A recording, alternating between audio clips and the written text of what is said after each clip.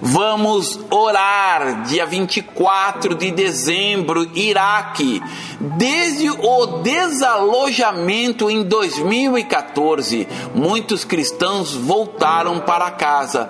Ore para que as celebrações de Natal sejam um encorajamento e para que não cristãos descubram a esperança e a força na fé cristã.